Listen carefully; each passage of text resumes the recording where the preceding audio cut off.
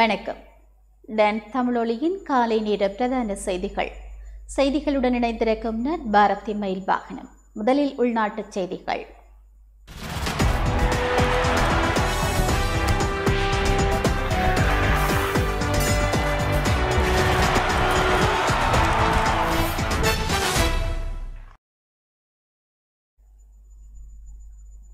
யாழ்ப்பாணம் பொதுனா வைத்தியசாலையின் சேவைகளை தொடர்ச்சியாக முன்னெடுக்க வசதியாக தேவையற்ற வருகைகளை தவிர்க்குமாறு வைத்தியசாலை நிர்வாகம் கேட்டுக்கொண்டுள்ளது.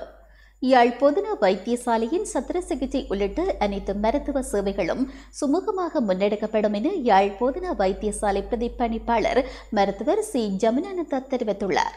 யாழ் போதனா வைத்தியசாலை மருத்துவர்கள் தாதியர்கள் உட்பட பதிமூன்று பேர் கொரோனா தொற்றாளர்களாக அடையாளம் காணப்பட்ட நிலையில் போதனா வைத்தியசாலை உயர்மட்ட கூட்டம் நேற்றிரவு நடைபெற்றது.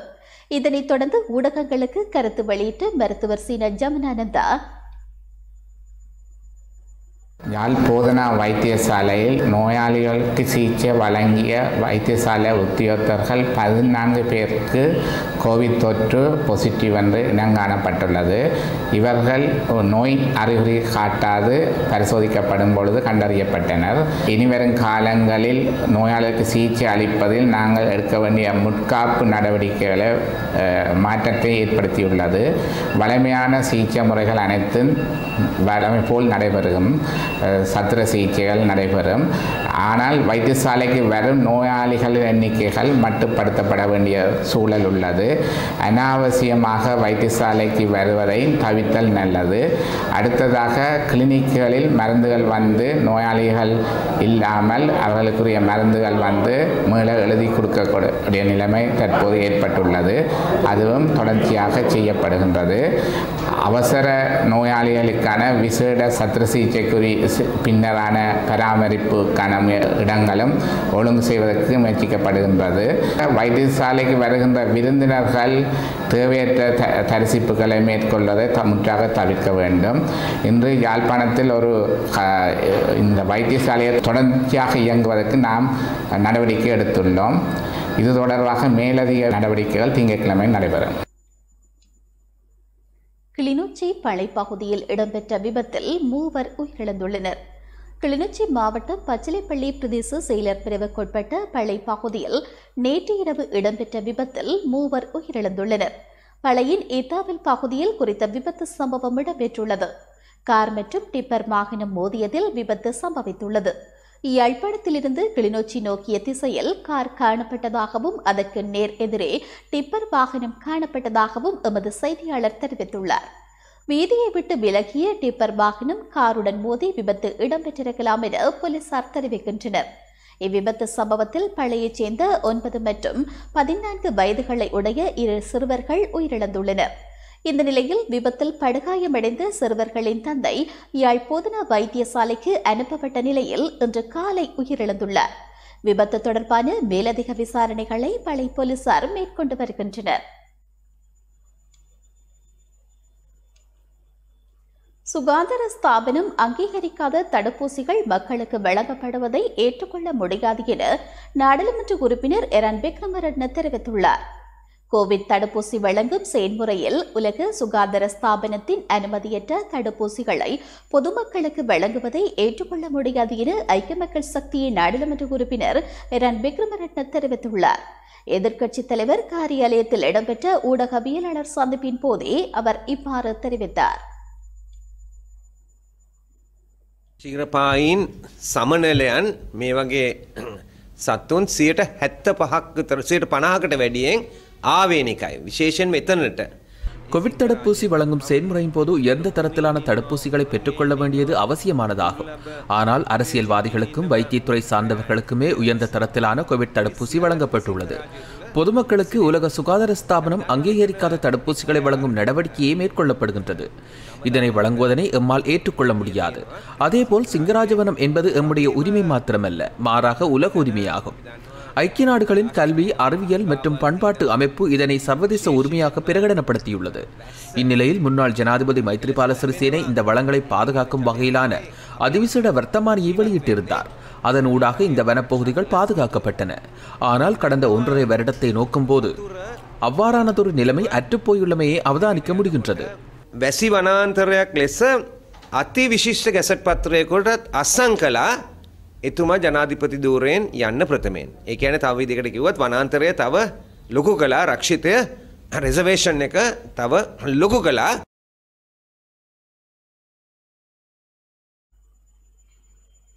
கட்சிக்கு அநீதி இழைக்கப்பட்டால் தொடர்ந்து மௌனம் காக்க முடியாது என ராஜாங்க அமைச்சர் தயாஸ்ரீ ஜெயசங்கர தெரிவித்துள்ளார் அரச கூட்டணிக்குள் ஸ்ரீலங்கா சுதந்திர கட்சிக்கு பாரபட்சம் தொடர்கிறது அது இன்னும் குறையவே இல்லை என ஸ்ரீலங்கா சுதந்திர கட்சியின் பொதுச் செயலாளரும் ராஜாங்க அமைச்சருமான தயாசிரை ஜெயசகர தெரிவித்துள்ளார். சுதந்திர கட்சியின் மத்திய செயற்குழு கூட்டம் கட்சித் தலைவர் மைத்ரிபால ஸ்ரீசேன தலைமையில் அக்கட்சியின் தலைமையகத்தில் நடைபெற்றது. கூட்டம் முடிவடைந்த பின்னர் ஊடகவியலாளர்கள் எழுப்பிய கேள்விக்கு பதில் அளிக்கையிலேயே தயாசிரி ஜெயசேகர இவ்வாறு தெரிவித்தார். இது நாம் உருவாக்கிய அரசு. அதனுடன் இணைந்து பயணிக்கவே விரும்புகிறோம். தேர்தலிலும் கூட்டணியாகவே பயணிக்க உத்தேசித்துள்ளோம். எனினும் கட்சிக்கு அநீதி இழைக்கப்பட்டால் தொடர்ந்து மௌனம் காக்க முடியாது என தயாஸ்ரீ ஜெயசேகர தெரிவித்துள்ளார்.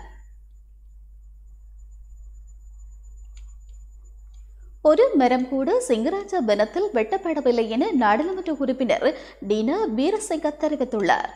இரண்டாயிரத்தி பதினைந்து போன்று அரசாங்கத்தை கவிழ்க்க சஜித் பிரேமதாசவும் ஜேவிபியும் முயற்சி செய்வதாக நாடாளுமன்ற உறுப்பினர் டீனா வீரசிங்க தெரிவித்துள்ளார். பொதுஜன பெருமன தலைமையகத்தில் நடந்த ஊடக சந்திப்பில் அவர் இவ்வாறு தெரிவித்தார்.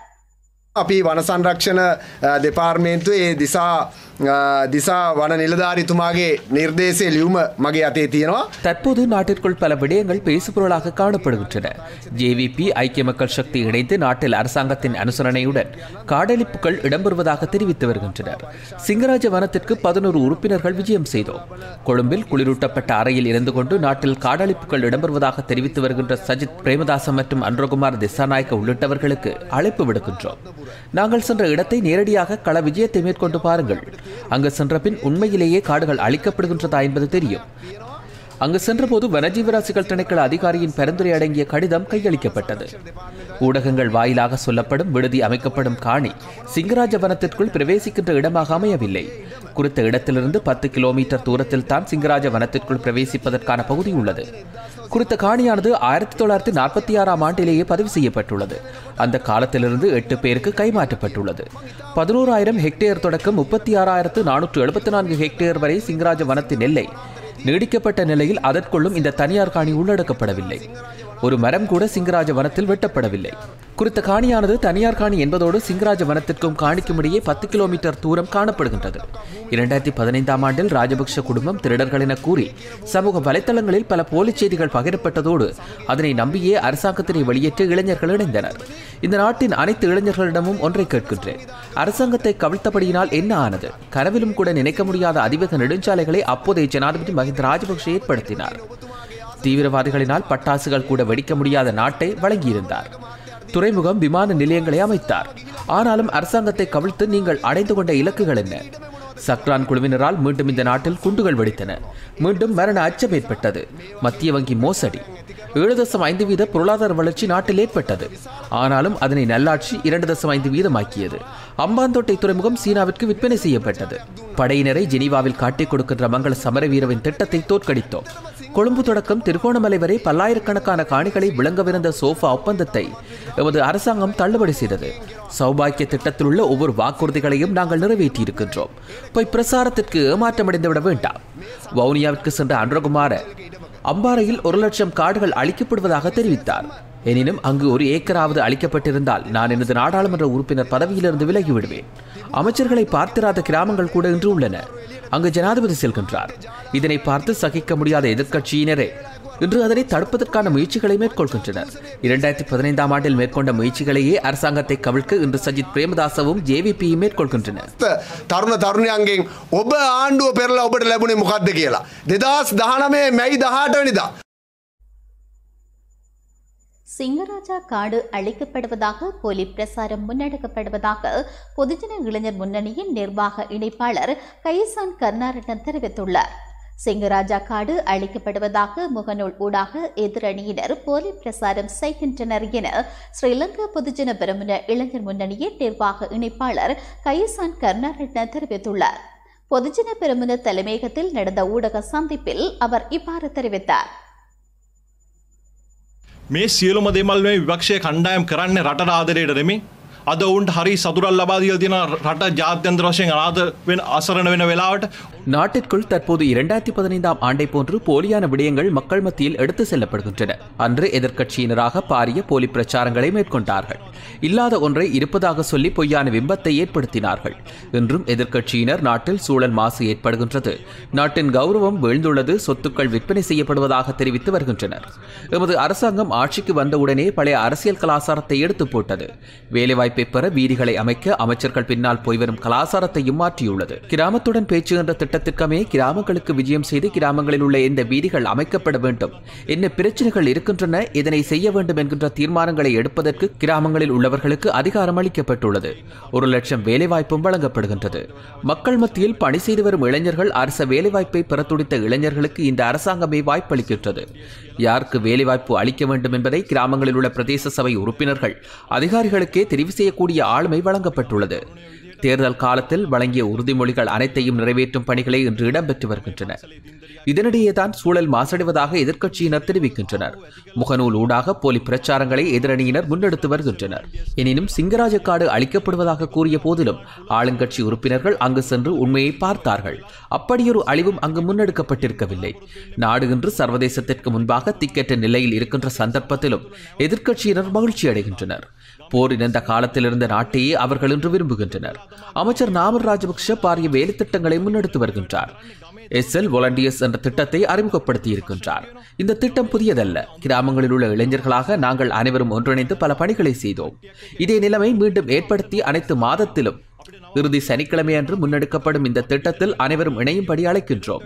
அதன் ஊடாக கிராமங்களில் உள்ள சிங்களம் தமிழ் இளைஞர்கள் ஒன்றிணையக்கூடிய சந்தர்ப்பமாக இது அமைகின்றது புதிய வாய்ப்புகளும் ஏற்படுகின்றது கொரோனா நிலைமைக்கு மத்தியில் அனைவருக்கும் தடுப்பூசியை வழங்க அரசாங்கம் நடவடிக்கை எடுத்து வருகின்றது ஜனாதிபதி கோட்டாபய ராஜபக்ஷ பஷில் ராஜபக்ஷ மற்றும் பிரதமர் மஹிந்த ராஜபக்ஷ ஆகியோரின் வழிகாட்டலில் நாடு மீண்டும் புதிய பாதையில் வெற்றி பாதையில் பயணிக்க தொடங்கியுள்ளது එකතු වෙලා සමධතාවන් වැඩි කරගන්න සමධතාවන් තුළින් රට හොඳ තැනකට ගෙනියන්න පුළුවන් ශ්‍රී ලංකාව எமது கால வீரரான பசல் ராஜபக்ஷவே அனைத்து வெற்றிகளுக்கு பின்னாலும் இருக்கிறார் என பொதுஜன இளைஞர் முன்னணி உறுப்பினர் அகிலசாந்த தெரிவித்துள்ளார்.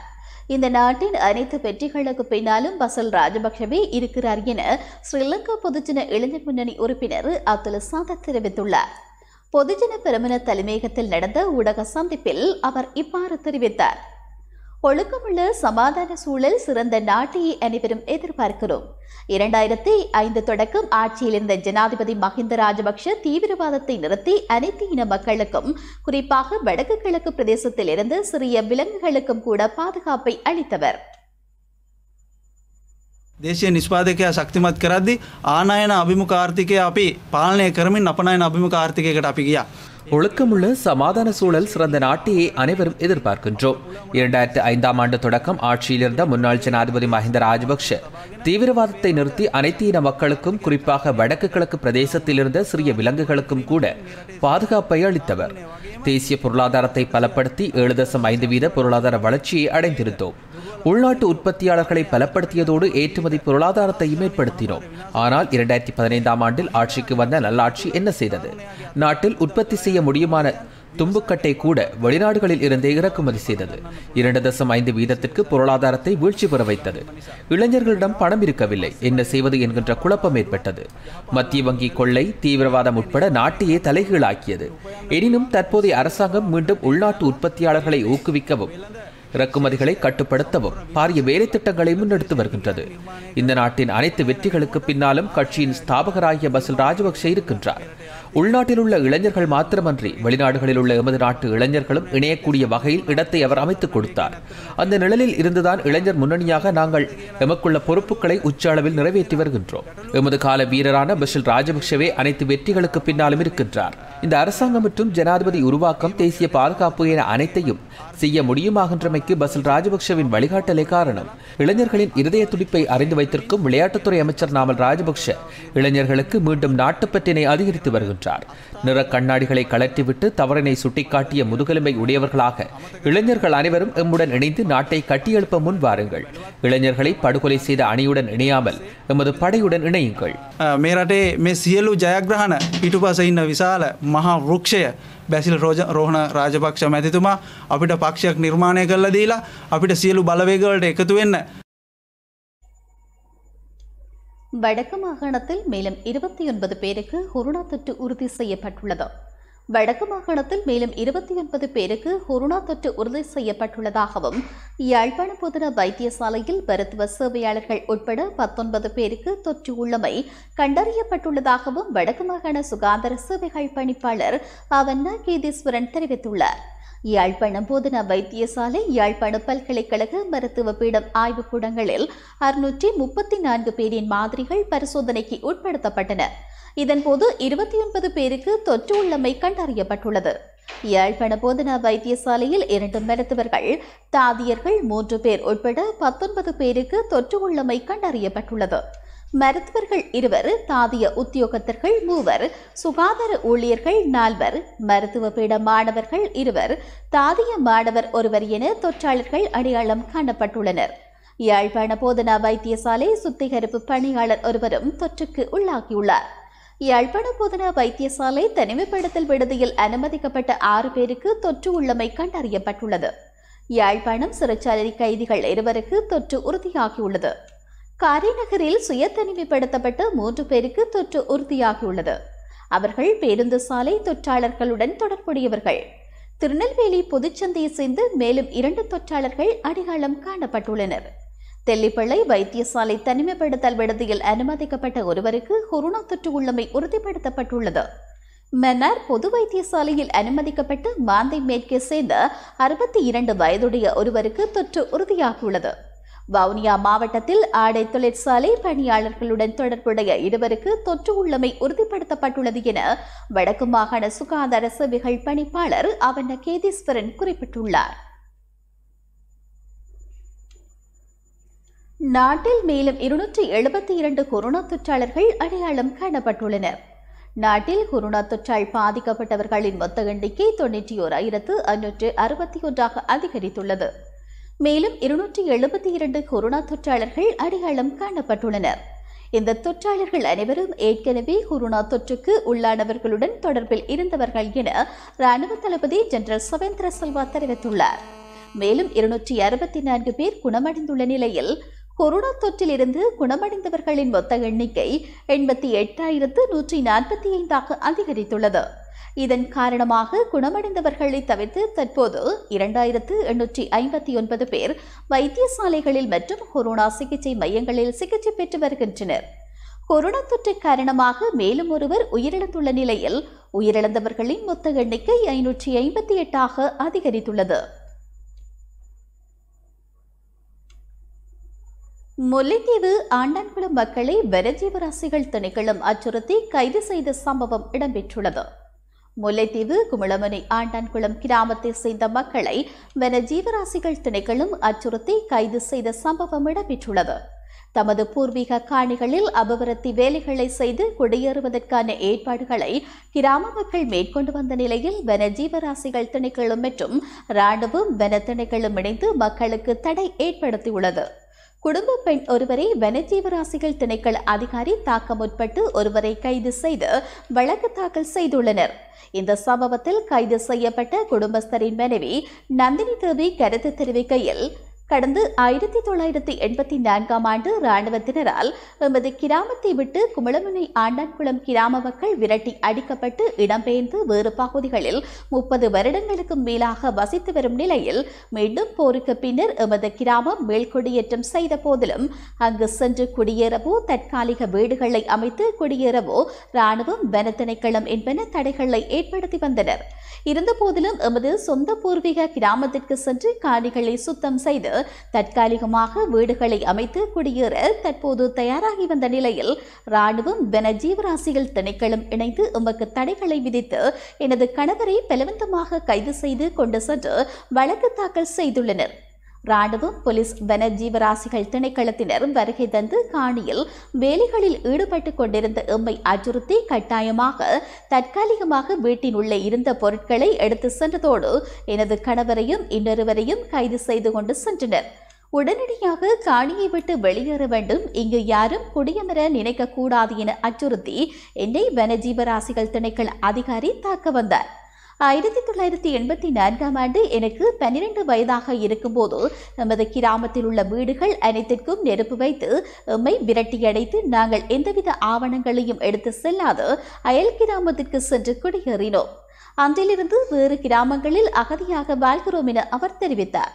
இந்த சம்பவத்திற்கு பின்னர் அப்பகுதிக்கு சென்று கரைத்துறை பெற்ற காணி பகுதி அதிகாரிகள் எதிர்வரும் பதினான்கு நாட்களுக்கு எந்தவிதமான அபிவிருத்தி வேலைகளிலும் கிராம மக்களை ஈடுபட வேண்டாம் எனவும் இங்கு மக்களின் காணிகள் தொடர்பாக அடையாளம் காண்பித்த பின்னர் வேலைகளை செய்யலாம் என கூறி சென்றுள்ளனர் என கிராம மக்கள் தெரிவித்தனர். இந்த நிலையில் குறித்த பகுதிக்கு சென்ற ராணுவம் போலீசார் புலனாய்வாளர்கள் மக்களின் ஆவணங்களை வாங்கி பதிவு செய்யும் வேலைகளில் ஈடுபட்டதோடு விவரங்களையும் பதிந்து கொண்டனர் என கிராம மக்கள் தெரிவித்துள்ளனர்.